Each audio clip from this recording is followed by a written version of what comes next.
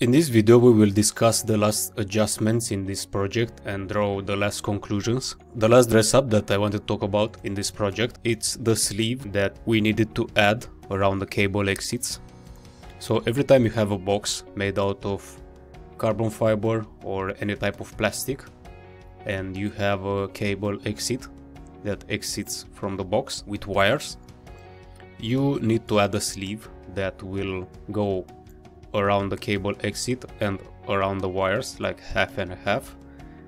And uh, because that sleeve is going to have glue inside it. So this 100% prevents the water from going inside the box. And usually those sleeves they have to be made custom.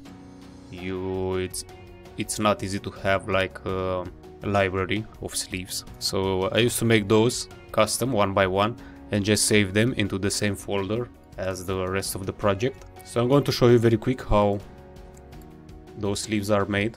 So I choose the most simple way to make them. So this one, for example, it's very simple. It's made with one rib and the profile of the rib. It's like this. You see, very simple profile.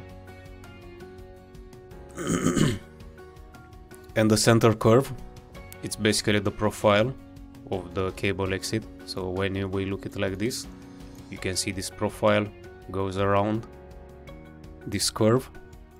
It's very simple. Every time you have a cable exit that is oval like that you can use this technique.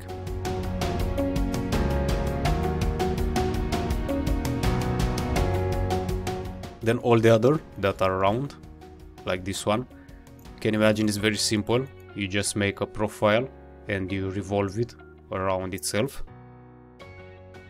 And I left the sketch on the top of the cable exit because that's where the dimension will start from those cables.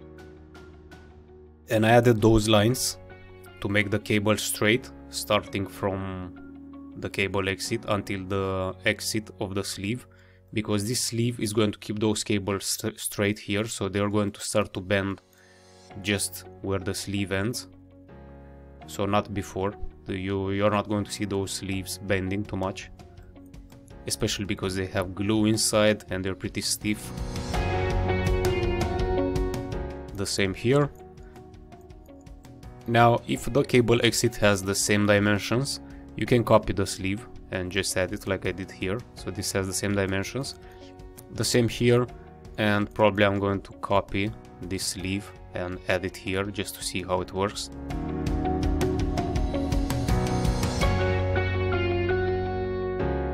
The next dress up thing are the cable ties. So I added those cable ties around the PT sensor. So if you are going to work anywhere you need to add all the details, especially cable ties, because they can occupy space and sometimes you can see that the head of the cable tie does not fit somewhere or uh, there is a problem so if you just do it you are going to notice that.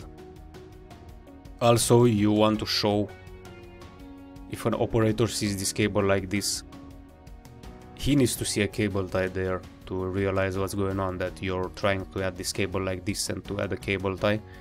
And somewhere on a drawing you need to add a dimension and to say that I want this cable tie at 11 12 millimeters from the top of the sensor and cable ties are the same, you need to copy, make, continue to make copies of the file of the cable tie to modify it and to add it in other places, like this. Here we need to add cable ties, that that's why we have this sketch here. So the cables are not going to stay here in midair by themselves, they are going to be held here by this cable tie. And again, you want to give dimensions from where the two bend to about where you want the cable tie to be because you don't want this cable tie to be added a little more that way and after that those cables will be very tensioned. So the next thing to do would be to copy this cable tie around here.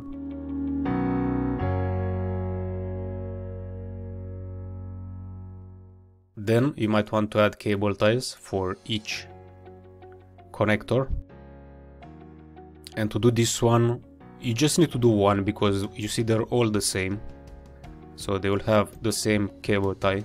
So you just copy and paste it and you move it for each connector.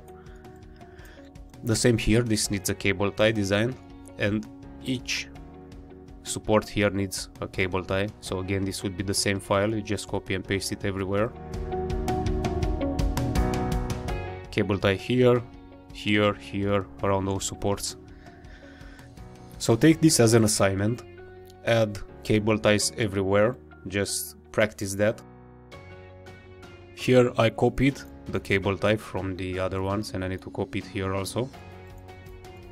So I'm going to show you very quick how to copy a cable tie, just to have an idea. So in here I have those cable ties.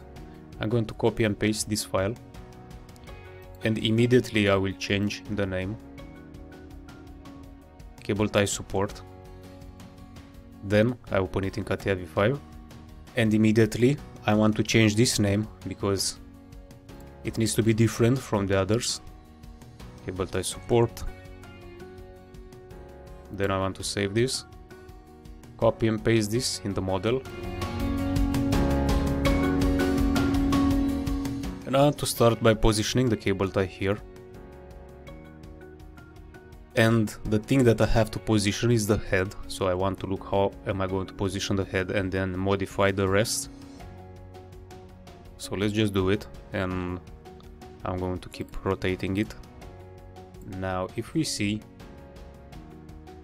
so this could do it, the head can stay here.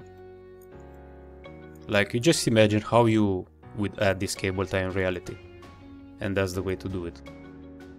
Probably going to be something like this.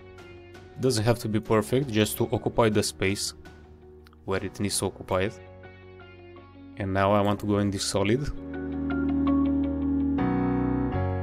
So this solid has its own body. And inside there, there is a sketch. We'll go on the sketch. And this is the sketch. And this is a spline where you can move the points and just add it around the cable. If you have issues modifying this spline like I do, that might be because something related to the hardware of your computer because it's this just needs a good processor and a good uh, video card and good memory RAM to do this. So if it doesn't work, you might want to delete the spline and just add it from the beginning. So you see here, you have here a small line and here a small line. So you start from this line and you end up on at this line.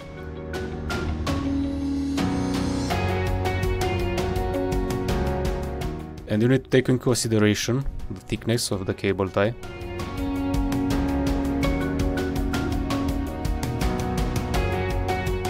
So we have some thickness around here. So I think this should do it. Let's see how it looks. Click OK. Now, there is some space here, but that's okay. So it looks pretty good. Maybe it's clashing a little, so you can adjust it a little here. After that, just copy, paste, paste.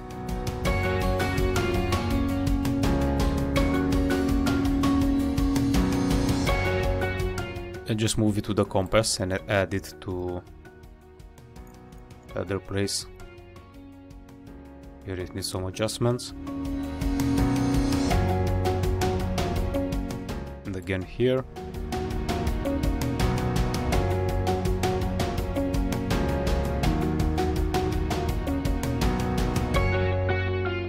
And so on.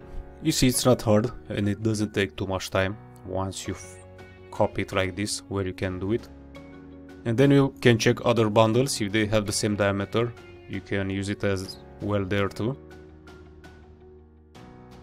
Another adjustment that can be done is to adjust those cables next to each other as much as possible without clashing. So the more natural they look the better it's going to be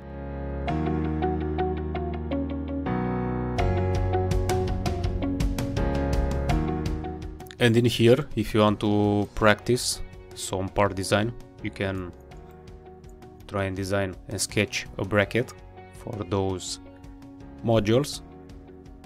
That could be a good exercise also.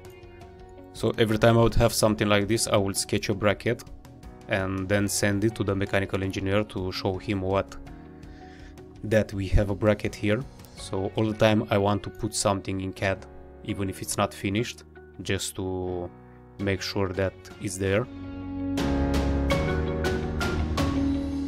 So now we can conclude this project. We can uh, call it almost finished, just a step from having it finished. So I hope you enjoyed this video and see you in the next one.